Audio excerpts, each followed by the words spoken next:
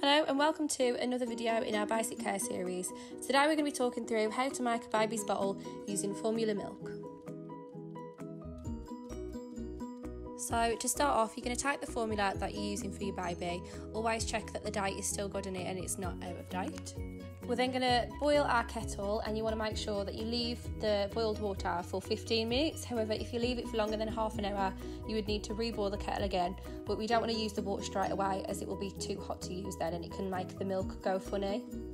And then, depending on how many ounces that you're feeding your baby at one time, you would fill this up measuring on the bottle. So, for example, here we're feeding our baby three ounces, so we filled it up to the three ounce mark with the water.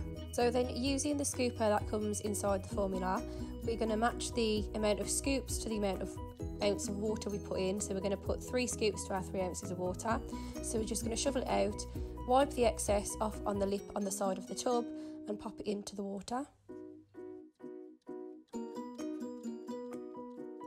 Once we've done that, we're going to pop the scooper back into its fixed place on the top of the lid of the formula and keep it stored in there so we don't lose it and it doesn't get cross contaminated by leaving it out. We're then going to firmly screw on the top of the bottle and give it a good shake so that the powder and the water completely combines into one another um, and there's no lumps left over.